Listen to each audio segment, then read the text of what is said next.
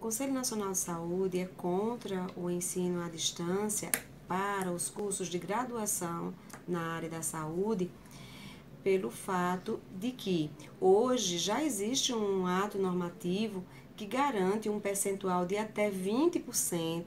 eh, da carga horária total dos cursos de graduação e que eles possam ser ofertados mediante esta ferramenta. A educação à distância para a área da saúde, ela está sendo meio que mascarada, tirando a qualidade da formação. A gente entende que é uma ferramenta importante, no entanto, é, para a área da saúde não é adequado, onde a gente preconiza uma formação interprofissional, uma formação de cunho mais generalista, mais humanista, voltado para a necessidade de saúde das pessoas, com formação em serviço, e isso a educação à distância não garante. A gente quer ressaltar que a, a essa ferramenta ela é, é, fundamental, mas na graduação na área da saúde ela precisa ser melhor discutida e a gente até o presente momento defende que se mantenha até 20% da carga horária total dos cursos, que é o que já vinha sendo preconizado. Eu entendo que o Conselho Nacional de Saúde,